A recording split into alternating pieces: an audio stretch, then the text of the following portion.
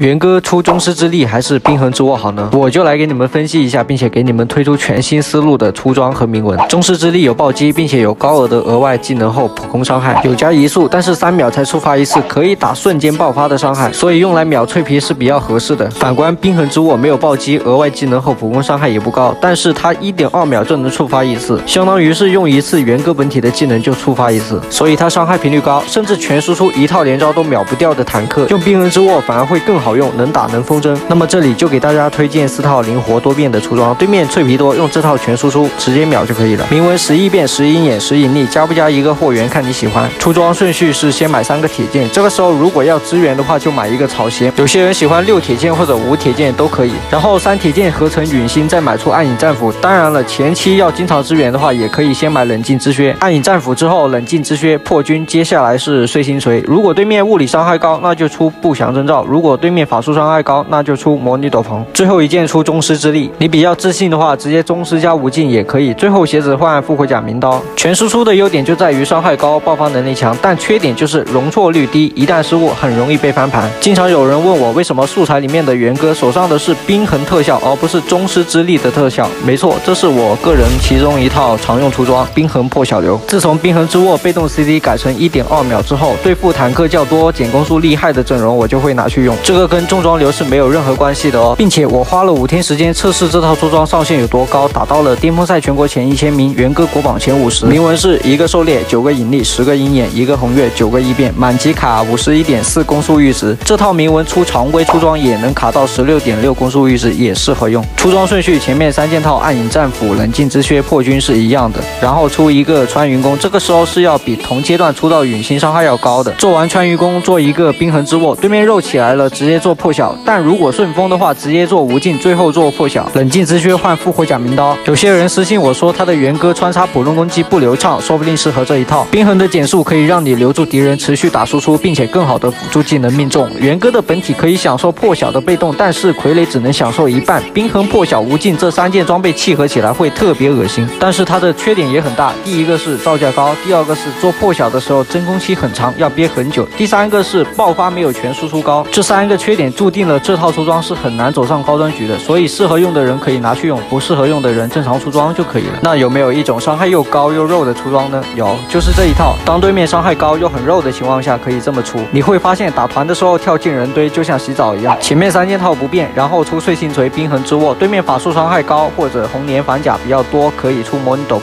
如果对面法术伤害不高，可以出无尽，然后鞋子换复活假名刀。但对面那几坨肉都出了减攻速的装备，可以用极影来代替鞋鞋子。有冷却，有生命值，有攻速，或者换末世电刀这一类加攻速的出装也可以。铭文是六兽猎四引力十鹰眼一红月九异变。满级六神的时候，这套出装生命值增加到了七千九百四十三。铭文和装备卡到了五十一点四攻速阈值。冰藤是为了能连着对面持续输出，攻速是为了能加快输出频率，并且防止被减太多的攻速。魔女斗篷是为了抵挡对面的法术伤害，那些高爆发法术伤害和红莲反甲的法术伤害就不用太过于担心了。看到这里，有人就会觉得伤害不够，放心吧，对面几坨大肉的阵容，你全输出伤害也是不够的，反而反甲把你打了小半血，而且被减攻速了，你 A 不到几下，空有伤害和暴击也没用，还不如出点应对的出装，让自己更好打一点，不是吗？我讲的这几套出装只是提供一个思路，并没有说过度吹捧什么出装比较好，谁谁谁的出装好，谁谁谁的出装不好，不管谁的出装都不是完美的，我的也不例外，适合你自己，适合当前版本，适合阵容出装才是最好的，一定要学会随机应变。考虑到新手进能连招不熟练，而且本体二三技能不够精准的情况，我推荐新手可以先用这套出装过渡一下，熟练了之后再用回常规的宗师不祥或者宗师无尽全输出，铭文带引力百穿就可以了。因为冰痕的减速可以让新手更好的命中技能，而且还能养成一个穿插普通攻击的好习惯，从而适当的降低了新手入门门槛。这期视频很有可能遭到别人喷，并且认为我是在误人子弟。不过没关系，因为实在太多人催我做一期出装铭文了，我把常规的出装思路教了，还讲了这些出装的利与弊，也把我的自创出装分享出来了，并没有逼着你们去用，肯定会有人适合用，有人不适合用的，大家理性思考哦。